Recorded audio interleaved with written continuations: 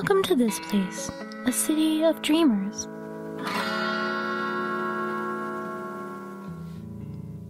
Overland River flows through this place, cutting the city in half on its winding journey to the ocean.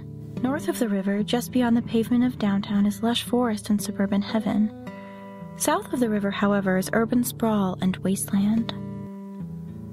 Marking the transition between neighborhoods is So Place, named for its relative location to the central hub of this place.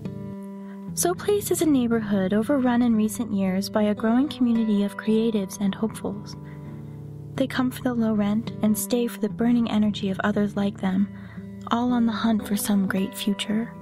Part timers and cafe loiterers make up the denizens of this emerging little borough. They are the artists. And where there are artists, there is art. And where there is art, there are galleries. The hidden frame is one of these. The large golden frame that marks the entrance catches the eye, contrasting with the plain building it's attached to. Every visitor must walk through the frame to get inside, each person momentarily a work of art. The frame is welded steel, spray painted to look precious.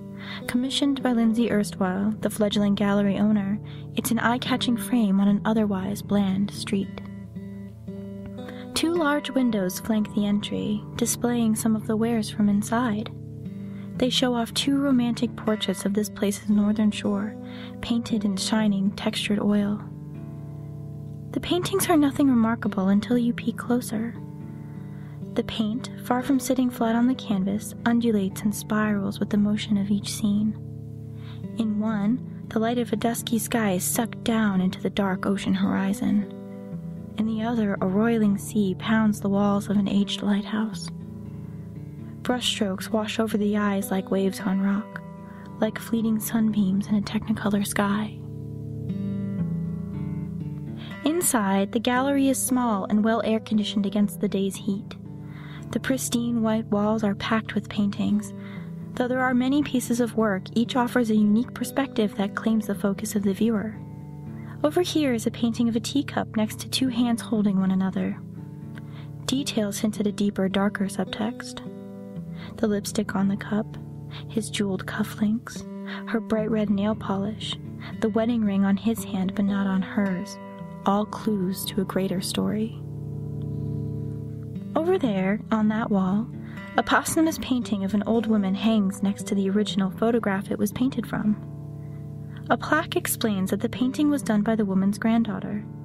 It's a delight of flashing colors and creative abstractions surrounding an otherwise realistically painted figure. It's hard to understand what the artist was going for, but there is meaning here somewhere. Each painting has a small placard with the artist's name and a price.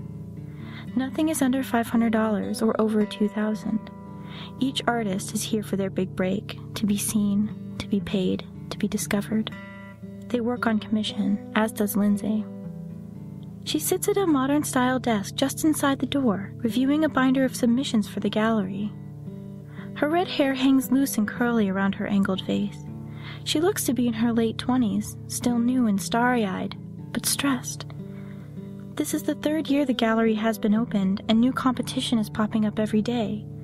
Lindsay used to trust her instincts, but she's wavering. Will next year favor landscapes? Portraits? Abstract? Or is there something else entirely on the horizon? A new avant garde waiting to overtake the art scene? Lindsay sighs and closes the book, looking past the glass of the front doors and into the potential future. Outside, the day wears to a close and the streets cool down. The gallery's open late because that's when the art buyers come out. So Lindsay sets a tray of fine cheese and a bottle of cheap wine to entice them in.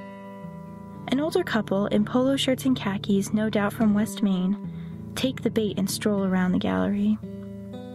As more people file in, Lindsay is all smiles and happy greetings, cheek kisses and banter.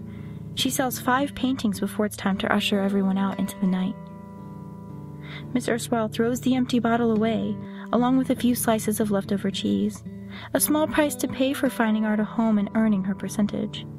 She locks up and crosses the street to her apartment building, where the rent is cheap and she can keep an eye on her gallery. Street lamps morph the display paintings into something new. In the dim lights of late night so place, they are the dreams had by a young, hard-working idealist. In their corners, hidden just behind the frames and in the curling brushstrokes, are the stark black initials L E. This Place is a podcast written, performed, and produced by me, Ree Callahan. If you'd like to learn more about this place or even tour the city, check the description for details. Thanks for visiting and don't be too shy to stop by again.